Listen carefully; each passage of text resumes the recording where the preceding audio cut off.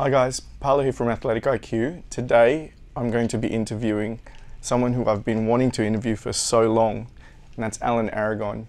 He's one of the most respected nutritional leaders in the industry.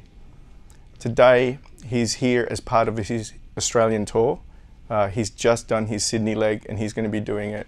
He's going to be doing the Melbourne tour uh, later on this week.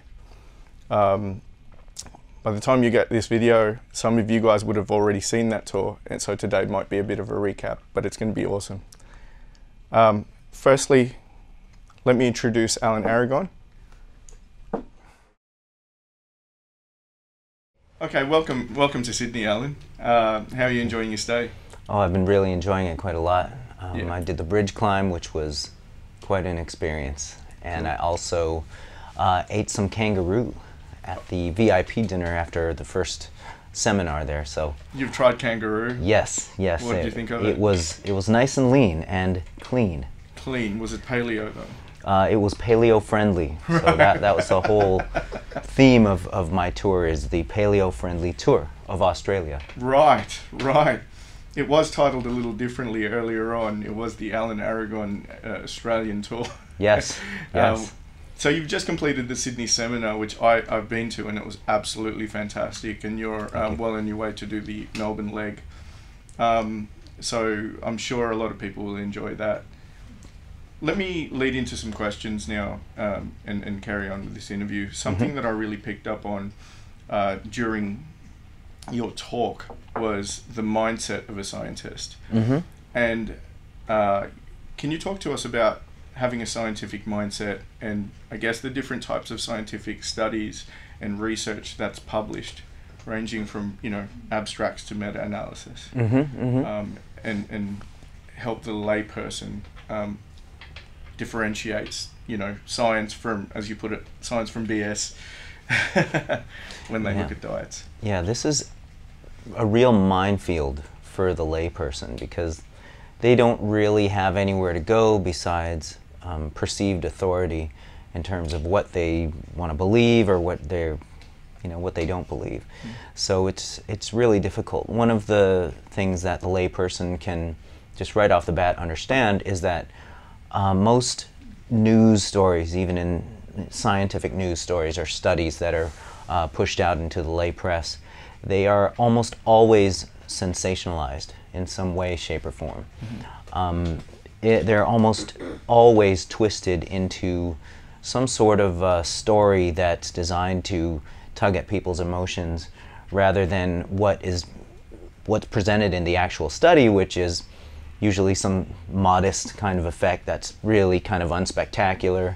Uh, the study's got a bunch of uh, flaws and limitations that the researchers themselves would acknowledge, and so Yeah. you know everything gets kind of twisted into this major story. So, one one thing that the lay public needs to understand is that the type of research that usually makes headlines is observational research. And what I mean by that is uh, research that is not a controlled experiment. Okay. It's typically just a look at some sort of phenomenon going on with a population, and they just, uh, the researchers attempt to draw correlations between some sort of thing like, you know, like a given food, and the, they try and draw some association between that and some kind of uh, disease state like diabetes or cancer or heart disease and that's that whole thing. So they have to understand you know things that make headlines it's observational data it's not controlled so there's really no cause and effect established there. And the lay public i guess without being trained formally in the sciences what they can just kind of adopt is a skeptical mindset in other words they need to just not believe until the evidence is consistent and compelling. Right. So not really give in to the fear mongering, basically, isn't it? Yes, yes. There's a lot of that going on. Yes. That's uh, that's that's wide uh, widespread in the fitness industry. So, Mhm. Look, while we're on the subject of uh, diets and BS, I suppose the, the the next thing I want to do is I want to crush some diet myths with you. All right. So I'm going to go through a few different um, topics that I'd like you to sort of, um, I guess, um, you know, put your put your uh, experience into. Okay. So there's a lot of alarmism that goes on in the industry. Mm-hmm. Some of that will be sugar, paleo, organic food, Mm-hmm. artificial sweeteners, um, and eating to boost hormones. Mm. So maybe we could uh, go through that one by one, if that's okay with you. So the first Yeah. thing we'd, we'd cover off is sugar. Okay. Why should people not be scared of sugar? Well, in, in the beginning, anytime that you put a, a an evil or avoid stamp on any type of food, then you automatically raise its mystique, and you actually make the food more attractive, sort of like uh, some kind of forbidden fruit in the Garden of Eden. And so when you when you give a single stupid food that kind of power, then you set people up for a neurotic relationship with food. You set people up for the potential to binge on a given food because they think, "Oh, this is this is a bad food." Ah, and they secretly drooling over it, you know, Yeah. when no one's looking. So the whole thing about sugar and I quit sugar and I you know, I whatever it is. Can I can I get dirty over here? Absolutely, go for it, I, I quit masturbating to sugar. Right. You know, it's like, come on, man, get get a life already and uh, learn a bit about moderation. Learn a bit about uh, the idea that you can pretty much have anything as long as you don't have it in excess all the time. Yeah. And so sugar falls into that category. Uh, a lot of people blame sugar for the downfall of humanity when the data really isn't there. Now, it's, it's tough to actually track uh, you know, population-wide sugar intake for any length of time, let, let alone tracking it since the beginning of the uh, uh, obesity epidemic, which started in roughly oh the 70s and really kind of kicked up in the 80s, and um, and people mistakenly just uh, blame sugar for obesity and diabetes and heart disease when there's a lot of other factors that occurred um, across the 70s, 80s, and 90s and the 2000s, and a lot of um, a lot of variables uh, go unaccounted for, and people just selectively choose sugar as the one thing that caused it, which is completely false. There are other factors such as a big one being a sedentary shift, um, physical inactivity, just pervasive, um, the internet, uh, labor labor saving devices, uh, and also the increase in other types of foods like added fats and oils, um, uh, increase in grains, especially refined grains, and so you know you can't selectively choose sugar as the bad guy because then you you know you're getting a whole false picture and you're giving sugar too much power. Yeah, yeah, I agree with that. I think I think part of the problem is um, that people try to pigeonhole the problem into one aspect of society when really it's it's a holistic approach, right? So um, Yeah. not it's not just sugar. It's it's not just over availability of crappy products or whatever. It's actually everything all at once. People not moving enough and whatnot. So yeah, Yep. I absolutely get that. Now, um, something that we discussed at the workshop Mhm. was uh, uh, a particular celebrity's um, take on paleo. so I wanted to talk to you about that. And um, I mean, I know that we we uh, asked uh, asked for him to uh, to debate you, and, and without success, unfortunately. Mm-hmm, mm-hmm. Um, as, as you know, I was expecting. Uh, I knew that was going to happen anyway. sure. Um, what what's the story with paleo? What what what's going wrong with it? Well, paleo, i at the core, is this romantic idea that we can kind of get back to nature, get back to our roots, get back to our prehistoric habits. And the leap of faith and the leap of logic there is that things were great in the uh, Paleolithic era. Um, Things were, and, and our health was great, and you know we had strong bones and strong bodies, and uh, you know a lower uh, incidence and uh, lower prevalence of disease and all this stuff. And um, you know, fact of the matter is, um, none of that is true necessarily, at least in the general sense.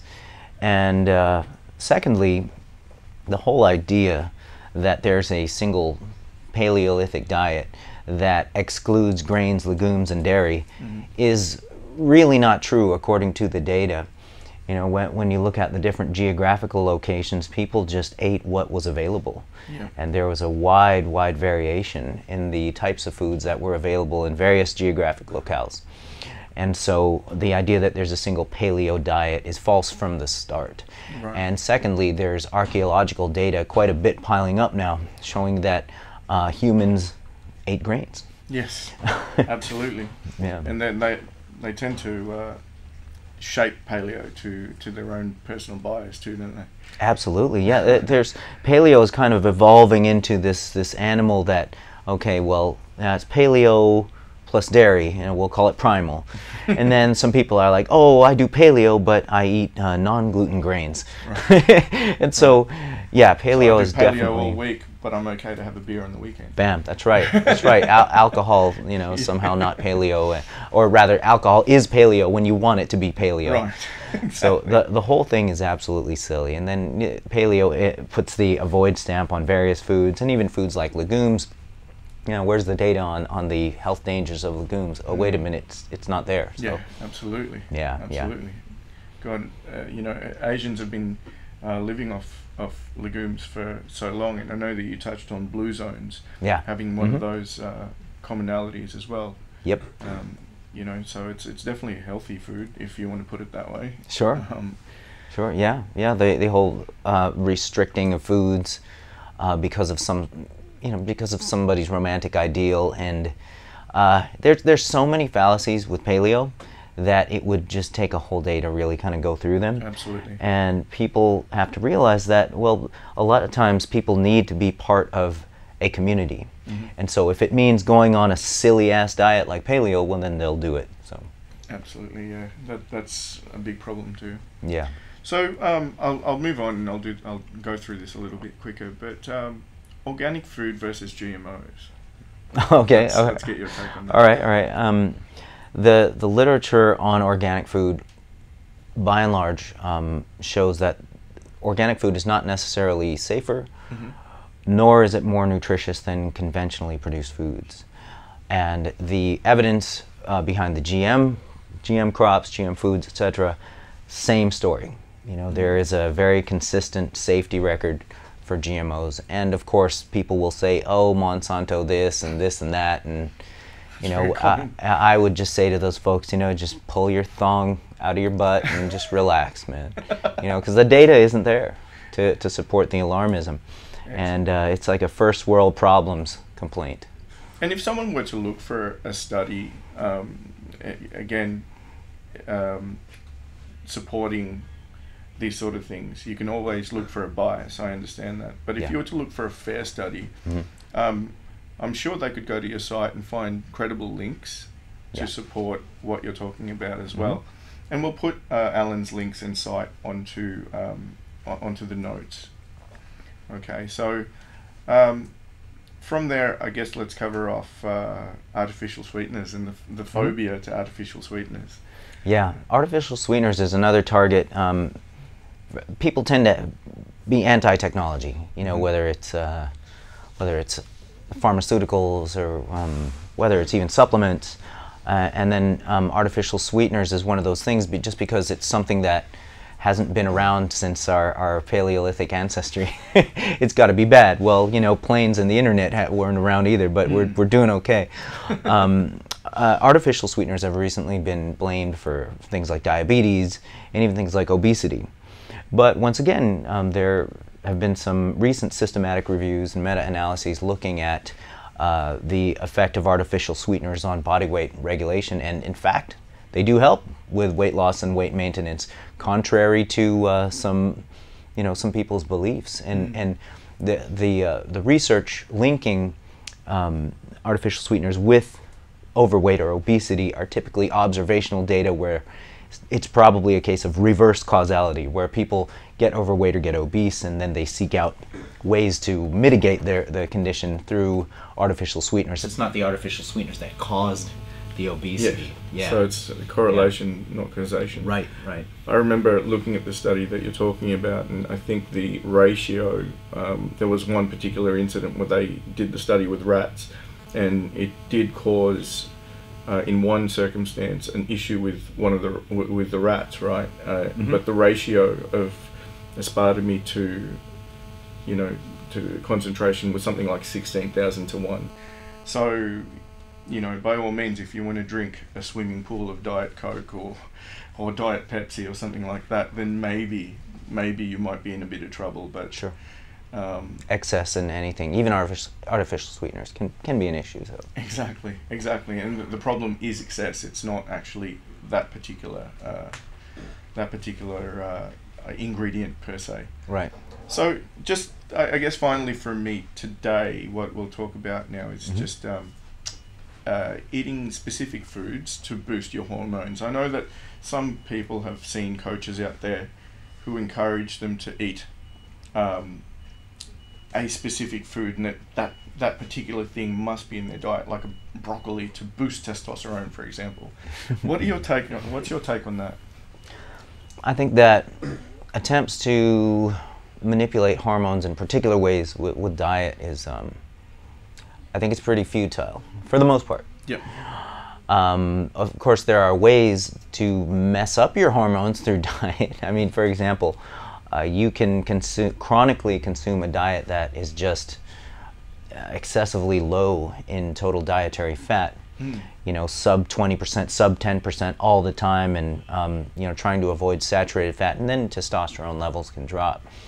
But as far as saying, okay, well, you got to eat these particular foods in order to get the, you know, the testosterone up, and like the broccoli example, and it's like, hmm. Um, the end to which people recommend that is to affect body composition somehow. Yeah. And so these these fluctuations of testosterone within the physiological limits, you know, there's really no reliable uh, correlation with, with changes uh, or enhancements in body composition when, Yeah. when you're looking at those those um, those relatively small changes. Right. So I would say instead of focusing on on hormones, focus on gosh, focus on things like uh, what would increase muscle protein synthesis. Yeah. Focus on things that would, um, you know, uh, uh, affect body fat loss, and then marry those those dietary uh, protocols with the right training. Right. And because hormonal changes are going to happen whether you kind of like it or not, they happen in the background constantly all the time. Yep. And you can't control everything you think you can control, but you know there's a lot of gimmickry that can come out of attempting to do that. So I, I would I would take the focus off of that and put it on things that we can concretely manipulate. Yeah. Absolutely, absolutely. So never put the uh, never put the cart before the horse, as Eric Helms would say, right? Yep, that's right. Yeah. So Good old Eric. Shout out Eric Helms. Ah, he's a cool dude. So um, for today, for this section of the uh, the interview, that's that's me. On the next part, I'm going to introduce our sponsored athlete Robbie Frame, which will come in part two of the series. Um, he'll interview Alan uh, with a topic that you might be interested in, which is nutrient timing, which Alan has extensive research on. So. Robbie the Phenom. Yeah, absolutely. So thank you, Alan. Thanks for thanks for uh, this interview, and uh, we'll speak to you soon. Thank you very much, Paulo. Thanks.